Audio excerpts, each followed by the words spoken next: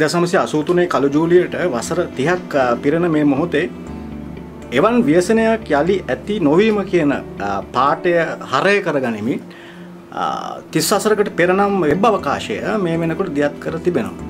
මොකක්ද මේක ප්‍රධාන අරමුණ ඇතරම.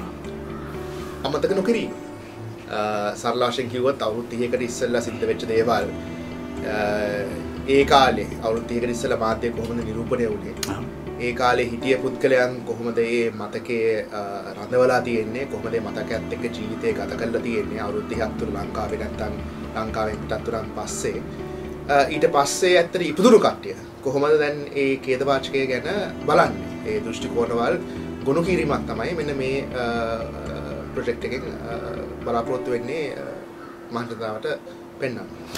දැන් සුවිසිච් කාරණාවත්වනද ලංකාව වගේ රටක මේ වගේ තේමාවක් මත විශේෂයෙන් සුවිශේෂ ඩිජිටල් තාක්ෂණ අනුව සිදු කර ඇති මේ ව්‍යාපෘතියේ තාක්ෂණික වගේම සමාජමය අර්ථයෙන් මොනවගේ සුවිශේෂ කාරණාද අන්තර්ගතයන් විදිහට තියෙන ඇත්තටම?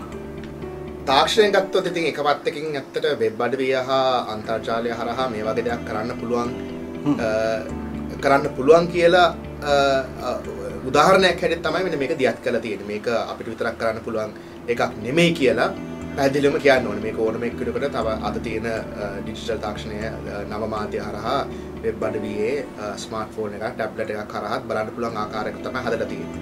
ඉතින් මේක එක අතකින් බලනකොට ටෙම්ප්ලේට් එකක්. මේක තවත් එක්කෙනෙකුට ඕනම දෙයක් හා සම්බන්ධයෙන් කරන්න පුළුවන් හැකි ආකාරයකට තමයි අත්තර එක පැත්තකින් ඇත්තට මේකේ අදහසක් තියෙන්නේ. ඇත්තට වෙබ් එකයි අන්තර්ජාලය හරහා මේ වගේ දෙයක් කරන්න පුළුවන් කියලා. අනිත් එක තමයි ඉතින් ඇත්තට මේ තාක්ෂණ එක පැත්තක් ඇත්තට ඇත්තට වැදගත්ම දේ මට මේකේ තියෙන අන්තර්ගතලා තියෙන කතාව.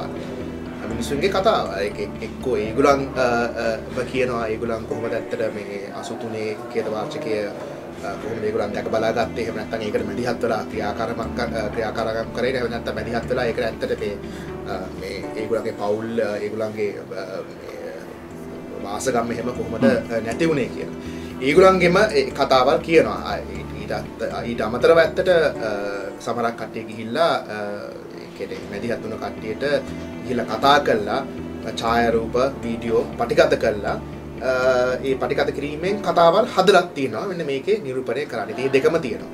ඉතින් මේ දෙක තාක්ෂණික පැත්තෙන් එක පැත්තකින් අනිත් එක මේ කතාවල් තමයි සමාජමය සමාජමය පැත්තෙන් මේ මම හිතන්නේ වැදගත් වැදගත් අංග දෙකක් හැටියට කියන්න පුළුවන්. දැන් අනිත් කර්ම තමයි දැන් ඔබ මෙම ව්‍යාපෘතිය දියත් කරන්න විශේෂයෙන් 2009 යුද්ධමය තත්ත්වය අවසන් වෙලා නමුත් නැවතත් විශේෂයෙන් සිංහල වර්ගවාදීන්ගේ ව්‍යාපෘතිය පෝෂණය කරමින් ඉන්න මොහොතක මේකත් ඇත්තටම 30 වසරකට පෙර ව්‍යාපෘතිය සමාජගත කිරීමේදී වඩා සුවිශේෂ කරුණක් විදිහට ඔබ දකිනවද මොකද්ද ඔබගේ විග්‍රහය?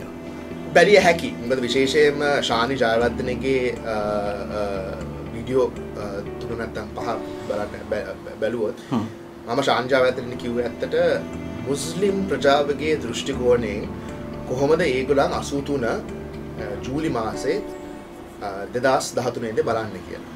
ඒ දෘෂ්ටිකෝණල් කීපයක් ශානිජාවර්ධන අරං වීඩියෝස් පහක් කරලා තියෙනවා.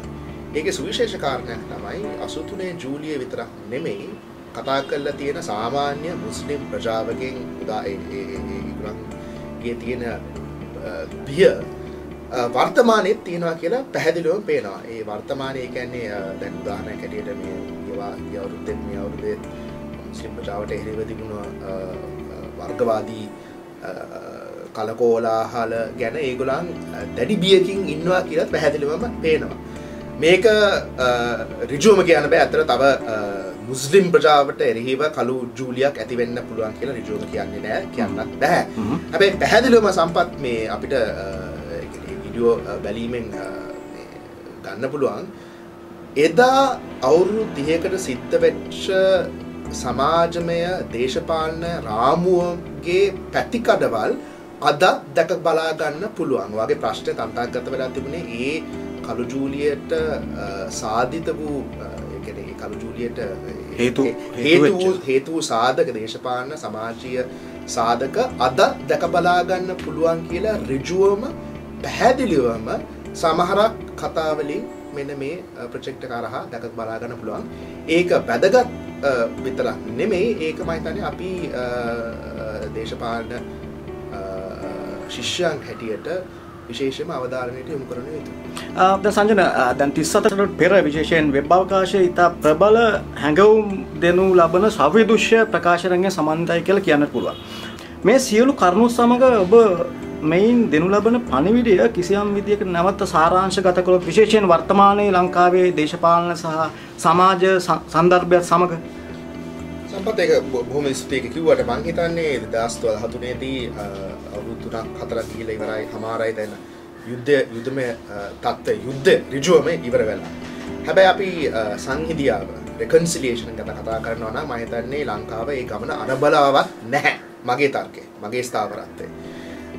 එවන් අවස්ථාවක එවන් සන්ධිස්ථානක අයිතිහස සන්ධිස්ථානයට මහිතන්නේ හැමතිස්සෙම අවුරුත් තිහක්ට පසු බැලීමක් කරන්න අවශ්‍ය නැහැ ගොඩක් දෙන කියන්නේ අපි ඉදිරියට බැලිය යුතුයි කියලා මං එකැන් එක පිළිගන්නවා හැබැයි අවුරුදු තියකට ඉස්සෙල්ලා හා ඒ දශක තුන තුන තුන තුළ සිද්ධ වෙච්ච කේදවාචකය ගැන කතා නොකිරීමෙන් සංගින්දියාවක් ඇති වෙනවත් කියලා මම පිළිගන්නෙත් නැහැ.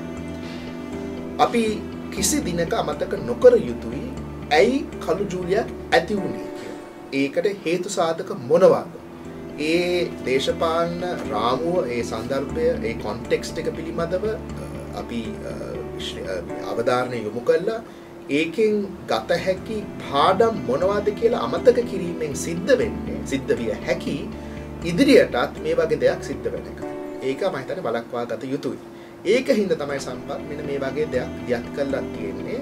වෙබ් අඩවිඩ දාලා තියෙන්නේ මේක ඉදිරියට දැන් ඉදිරියට දැන් මේ කාට හරි බලන්න ඕන මොකද්ද සිද්ධ වුනේ කියලා. ඒකේ පැතිකඩවල් මේකේ සම්පත් වය මම හොඳට දන්නවා මේකේ මූලික සත්‍යයක් මේක තමයි ඇත්තට සිද්ධ වුනේ කියලා මේකෙන් පිළිබිඹු කරන්නේ නැහැ. සත්‍යයේ පැතිකඩවල් තමයි. මොකද මේ සත්‍ය ඇත්තට ලංකාවේ හොඳට බදන්නවා විකල්ප කියවන වෙබ්බඩිවේ කියවන පාටකයම හොඳට දන්නවා මේ සත්‍යයේ පැතිකඩවල් දැන් ඇත්තට ඒක කතා කිරීමෙනුත් ඇත්තට මේ දේශ ද්‍රෝහී තත්වකට පත්තර තත්වකට ලංකාවේ දැන් දේශපාලන හැදිලා තියෙන්නේ.